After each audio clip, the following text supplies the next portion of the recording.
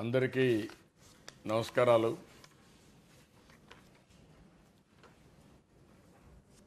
ACB director Thakur గారు. అదే మరిగా ఇప్పుడు ఈ కార్యక్రమానికి అటెండ్ అయినటువంటి సహచర మంత్రివర్గ సభ్యులు గౌరవ శాసనసభ్యులు శాసనమండలి సభ్యులు ప్రజాప్రతినిధులు.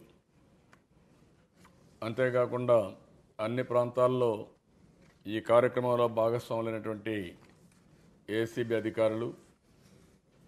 అదే మాదిరిగా పత్రికా విలేకరులు మిగిలిన వారందరికీ కూడా నమస్కారాలు అభినందనలు శుభాభినందనలు.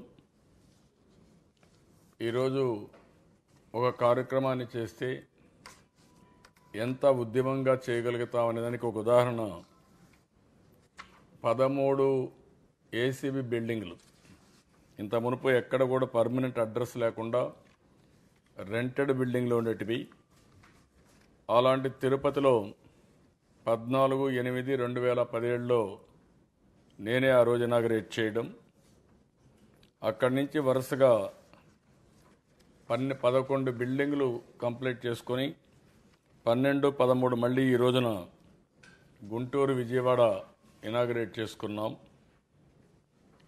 ఆ రోజు ఠాకూర్ గారు ఫండ్స్ కావాలంటే ఒక పదహారు కోట్లు ఇచ్చాం. ఆ పదహారు కోట్లతో కాస్ట్ ఎఫెక్టివ్గా ఆరు నెలల నుంచి సంవత్సరం లోపల అన్ని బిల్డింగ్లు పూర్తి చేశారు. One of the best infrastructure create చేయడం జరిగింది. దీనికి మనస్ఫూర్తిగా లీడర్షిప్ ఇచ్చిన ఠాకూర్ గారిని. అదే మరి ఇక్కడ లైన్లో ఉండే మొత్తం అధికార యంత్రాంగాన్ని అందరినీ కూడా పేరు పేరున మనస్ఫూర్తిగా అభినందిస్తున్నా. మన బ్రహ్మాండమైన కార్యక్రమానికి శ్రీకారం చుట్టడానికి మీ అందరూ కూడా అభినందనలు ధన్యవాదాలు. ఈరోజు ఏసీబీ హిస్టరీ మనం చూస్తే రెండు ఒకటి రెండు పంతొమ్మిది అరవై ఒకటిలో యాంటీ కరప్షన్ బ్యూరో ఎస్టాబ్లిష్ చేయడం జరిగింది సెపరేట్ డిపార్ట్మెంట్ కింద. ఎందుకంటే కరప్ట్ ప్రాక్టీసెస్ ఎక్కడున్నా అవన్నీ కంట్రోల్ చేయాల్సిన అవసరం ఉంది పబ్లిక్ సర్వెంట్స్లో.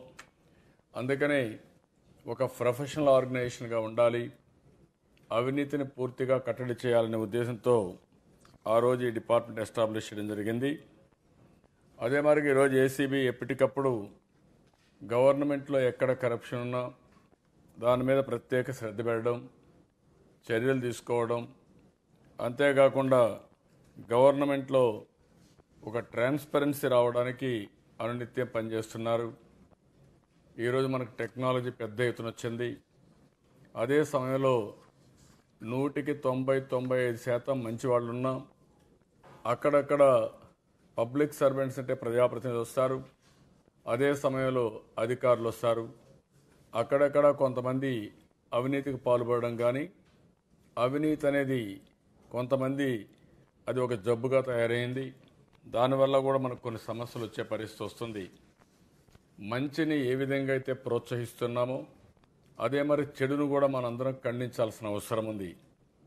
అవినీతిని పూర్తిగా నిర్మూలించాలంటే నీతివంతమైన వ్యక్తుల్ని ఎక్కడికక్కడ ప్రోత్సహించడం అదే మరి ఎవరైనా అవినీతికి పాల్పడితే కఠినంగా చర్యలు తీసుకుంటే తప్ప మనం అనుకున్న ఫలితాలు రావు. ఈరోజు మనం కొన్నిసార్లు సందర్భాల్లో చూస్తే కొంతమంది హిస్టారికల్గా కూడా అవినీతికి పాల్పడడం దానివల్ల నీతివంతంగా ఉండే ఆఫీసర్లు నూటి తొంభై ఐదు మంది తొంభై ఆరు శాతం ఉన్న వాళ్ళందరిలో కూడా ఒక నిరాశ లేకపోతే ఓసారి ఇలాంటి చెడు సాంప్రదాయాలు చూసినప్పుడు చెడు మార్గాలు ఉన్న వ్యక్తులు ఆనందంగా ఉన్నప్పుడు వీళ్ళకు కూడా బాధ కలుగుతుంది. అలాంటి సమయంలో ఏంటండి? వీడియో నచ్చిందా? అయితే ఓ లైక్ వేసుకోండి. లేదంటే ఓ కామెంట్ చేయండి. ఎప్పటికప్పుడు మా వీడియోస్ చూడాలంటే సబ్స్క్రైబ్ చేసుకోండి.